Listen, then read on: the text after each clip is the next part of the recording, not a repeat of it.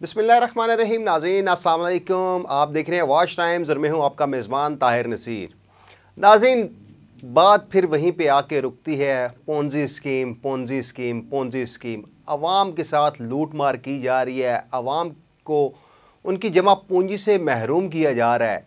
कितने ज़्यादा we logs हमने किए और हमने अपने नाजरन को बताया कि आल पाकिस्तान प्रोजेक्ट हो गया। B for you group of companies होगी।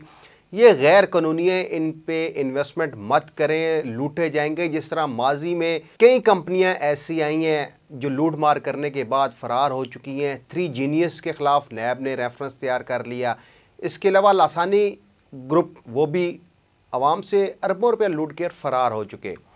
बात दोबारा वहीं पे आके रुकती है कि आज फिर बात करेंगे आल पाकिस्तान प्रोजेक्ट के मतलब और आज अपने नाजरन को बताएँगे कि आल पाकिस्तान प्रोजेक्ट के मतलब एक बहुत बड़ी ख़बर है कि आवाम बहुत ज़्यादा हमें क्रिटिसाइज़ तो करती है, लेकिन जो चीज़ इलीगल है, उसको हम इलीगल ही कहेंगे। अगर कोई चीज़ कानूनी है तो हम उसको कानूनी कहेंगे, उसको अप्रिशिएट भी करेंगे। All Pakistan project illegal business कर रहा है। ग्राउंड रियलिटी में उनके कोई बिज़नेस नहीं है। सिर्फ़ पैसों की रोटेशन है। किसी ने एक लाख रुपया इन्वेस्टमेंट कर दी, किसी ने दो लाख कर दी, किसी ने दस लाख कर दी। किसी ने डॉलरों में इन्वेस्टमेंट की और वही रोटेट होता हुआ पैसा हर माह मुनाफा दिया जाता है। हमने अपने नाजरन को बताया कि आल पाकिस्तान प्रोजेक्ट के ख़िलाफ़ एस सी सी पी ने नैब को एफ़ आई ए को लिख कर भेजा, लेकिन आवाम ने क्रिटिसाइज़ किया। हमने अपने नाजरन को बताया कि नैब की जानब से आल पाकिस्तान प्रोजेक्ट के आदम उमिन चौधरी को नोटिस मिल गया, लेकिन इसमें भी अवाम ने कहा कि हम लोग झूठ बोल रहे हैं। बाद आदम चौधरी ने एक वीडियो बयान दिया कि वाकई नैब उनके खिलाफ इंक्वायरी कर रहा है, इस वजह से वो रूपोश हुए हैं। जुम्मे का नोटिस था, लेकिन आल पाकिस्तान प्रोजेक्ट के जो आदम अमीन चौधरी हैं, वो नैब के सामने पेश नहीं हुए।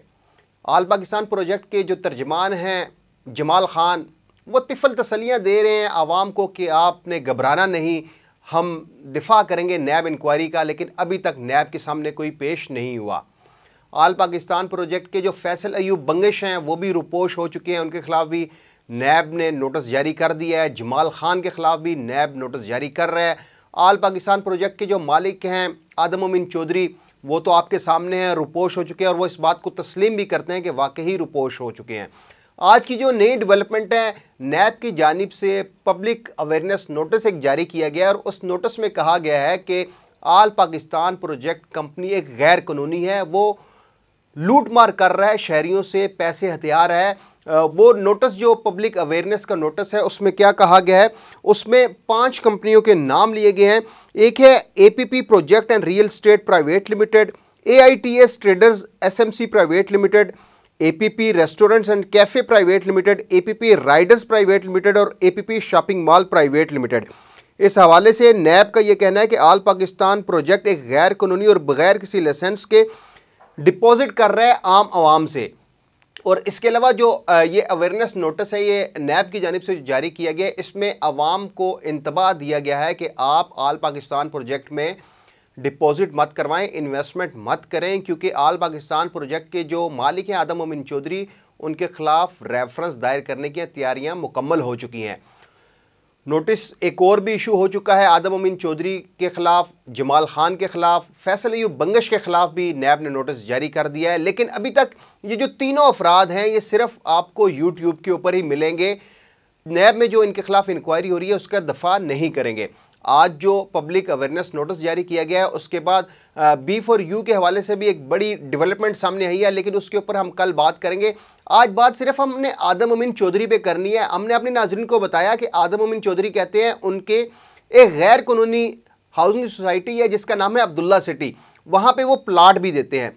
तो नाजरीन, एक गैर कानूनी हाउसिंग सोसाइटी में एक इलीगल बिज़नेस करने वाला कैसे आपको प्लाट देगा? इसके अलावा कहा गया है कि आदम अमीन चौधरी के बहरिया टाउन में कमर्शियल प्लाट्स तमीर कर रहे हैं। नाजरीन, मेरा यह दावा है कि आदम अमीन चौधरी कोई प्लाट नंबर बता दे कि फ़लाँ जगह पे उनका ये प्लाट नंबर है, वहाँ पे इन्होंने कमर्शियल प्लाजा तामीर करना था।